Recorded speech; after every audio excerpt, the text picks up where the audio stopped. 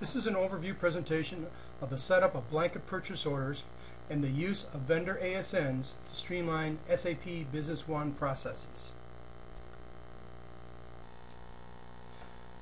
The purpose of the blanket purchase order function is to set up the pricing and terms with suppliers and then to send releases and forecasts against this blanket purchase order to provide better visibility to the supplier for the demand for their services and materials. Suppliers, in turn, must send advanced ship notifications, or ASNs, when a shipment leaves their plant. Then you, you can import the ASNs into SAP as draft PO goods receipts. This provides you with visibility of the in-transit shipments, and it improves the accuracy of the receiving function by reducing data entry. At the end of a day, accounts payable can create invoices based on the PO goods receipts and pay based on ASNs, thereby not waiting for uh, invoices from the vendor and reducing the amount of effort the clerical staff has. Let's get started. To set up a supplier to accept electronic transmission of purchasing requirements, three screens within the Business Partner Master File need to be updated. The first is the main Business Partner screen. On this screen, the trading partner is a two-digit required field. It's located below the contact person. The only restriction in the two digits is, is that duplicates across vendors is not allowed. The supplier code must also be input. This is normally an ID that is assigned to your suppliers by you. The second screen is the payment terms screen. And in the payment terms screen, the price list to follow must be set up to blanket PO zero price list. This is simply a price list that has the prices for all items set to zero. This is required in order to ensure that the blanket PO price from the blanket PO itself defaults during the receipt of the ASN. The third business partner screen is the accounting tab. And here is where we set a flag that says that the vendor is accepting EDI.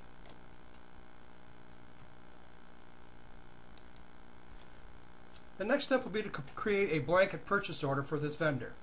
Purchase order quotations within SAP will be used to define and maintain the blanket purchase orders.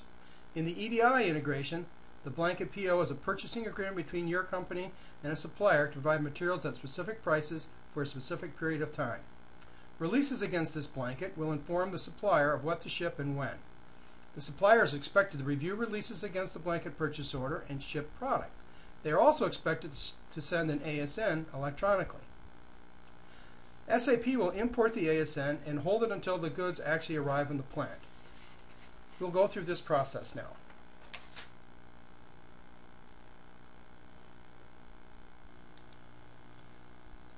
This is the blanket purchase order. Some fields are informational while others are critical to the usage of blanket POs. The vendor must be set up with the EDI use flag as we've just discussed. The document series that we're using will be the blanket. This also must be set up. The posting date should be the start date of the blanket purchase order, and the valid until is the date that the blanket purchase order ends. The information required in the detail is the item, the price, and the quantity. And then there are some flags for 862, whether or not it is used, and that's a yes or a no.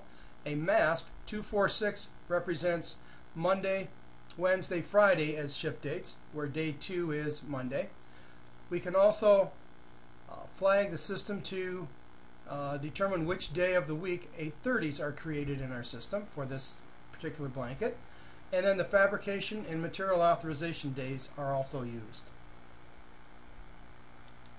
On a blanket purchase order release, for instance, if material days are 21 and the fabrication days are 7, then the forecasted schedule sent to the supplier will allow the supplier to purchase material per our schedule up to 21 days in advance and to produce items up to 7 days in advance and have our company guarantee payment.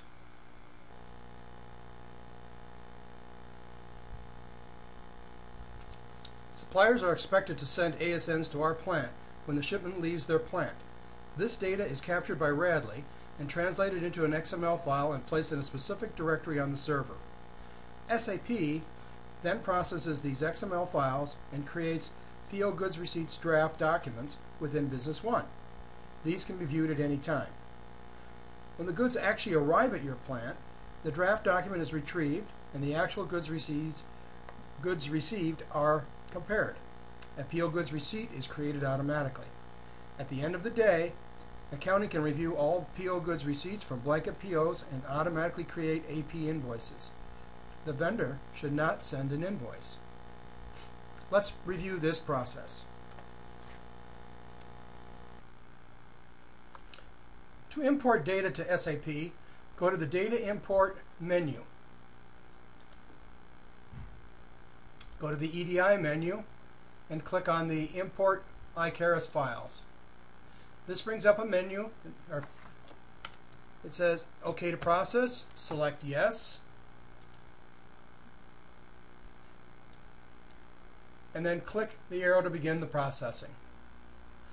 This will come up with a command line uh, system that'll go out and actually do the work, create calling the SDK within SAP. When it's completed, you'll be we type in exit and we close. At this point now, we should be able to go into the purchasing system, go into purchasing reports, look at the drafts.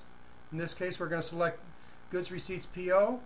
We click OK, and here we have an open PO goods receipts draft right now. We can click on the arrow right here and we'll see the information including the prices that we set up on the blanket purchase order. So these are the items, this is the same vendor, and this is the receipt date. Now to go and change this into an actual PO goods receipts, we could go in and change quantities, or we can click, simply click the add button and we'll have it as a PO goods receipt. At the end of the day, accounting uses the open items list report to see all the goods receipts POs that have been received. The vendor reference number shows the blanket purchase order number. They can check the details of any receipt using the gold arrow to drill down. In addition,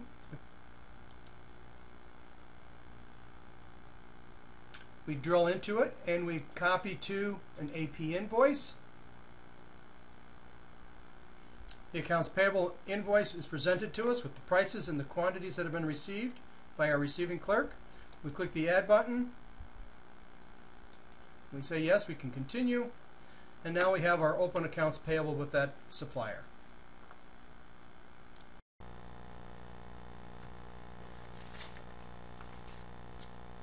Thank you for reviewing the blanket PO presentation from Mascidon. For more information, contact Don Maes at 248-432-2676 or send me an email at donm at mascidon.com.